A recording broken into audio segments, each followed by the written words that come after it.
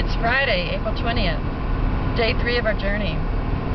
We camped at the fairgrounds in um, Holbrook, Arizona last night. It was a great setup for Shadow, empty stall for him, and for us, we slept next door to Shadow. It was a noisy night though. Shadow was banging around, and the railroad track was right behind the fairgrounds, and a train was roaring through all night long, every 30 minutes it seemed like, so I woke up a lot, and um, kind of groggy, but I'm having my coffee, and um, we're driving towards Albuquerque, New Mexico.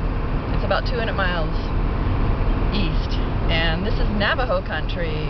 It's dry and barren. There's nothing to look at much except dirt and rocks and sagebrush. Check that out.